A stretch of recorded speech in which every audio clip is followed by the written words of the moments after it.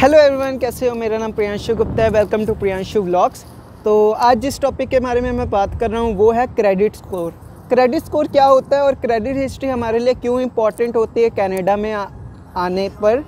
इसका मैं आपको जवाब थोड़ी ही देर में दे देता हूँ पर अगर आप मेरे चैनल पर न्यू हो तो मेरे चैनल को सब्सक्राइब करना मत भूलना और बेल नोटिफिकेशन को ऑन करके वीडियो को लाइक कर देना ठीक है?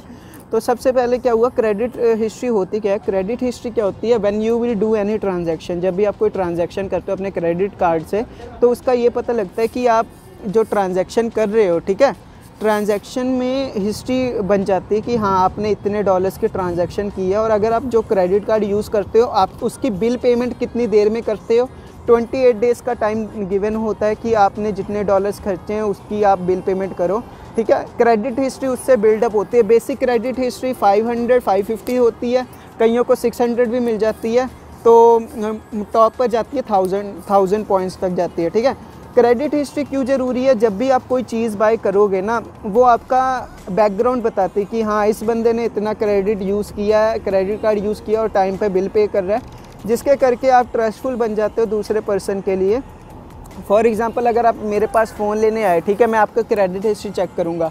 अगर आपकी क्रेडिट हिस्ट्री डाउन है तो मैं आपसे डाउन पेमेंट ले लूँगा फोर हंड्रेड डॉलर्स की फ़ोन लेने के लिए, ठीक है? अगर आपकी क्रेडिट हिस्ट्री बिल्कुल बढ़िया मैं आपसे ज़ीरो डाउन पेमेंट मिल लूँगा। क्यों? क्योंकि मुझे पता होगा कि आप टाइम पर पेमेंट कर रहे हो, अपने बिल की टाइम पे पेमेंट कर रहे हो, आप अपनी मनी की रिस्पेक्ट कर रहे हो, ठीक है? तो कभी भी क्रेडिट कार्ड जो रखते हैं, मैं उन्हें यही सजेस्ट करूँगा don't ever use credit card until और अनलेस आपके पास चेकिंग अकाउंट में उतने पैसे हों। क्योंकि मैंने मोस्टली देखा जो गोरे होते हैं, जो कैनेडियन होते हैं, वो डेबिट कार्ड ही यूज़ करते हैं। क्यों? क्योंकि वो चाहते हैं जो उतने, जितने पैसे उनके पास हैं, वो उतने पैसे यूज़ करें, ठीक है? वो क्रेडिट कार्ड में वो हज़ार डॉलर जो होते हैं ना, वो हज़ार डॉलर वो आपके नहीं होते, वो आपको वापस करने होते हैं। इसलिए स्मार्टली क्रेडिट कार्ड को यूज़ करना मेरी यही रिक्वेस्ट होगी। फॉर एग्ज़ाम्पल अगर आपने कार लेनी हो तो भी क्रेडिट हिस्ट्री के बहुत इंपॉर्टेंट है। कार लेने के लिए भी वो क्रेडिट हिस्ट्री देखते हैं। क्रेडिट हिस्ट्री पे ही लोन मिलता है। लोन आपको तभी मिलेगा जब आपकी क्रेडिट हिस्ट्री बढ़ेगी।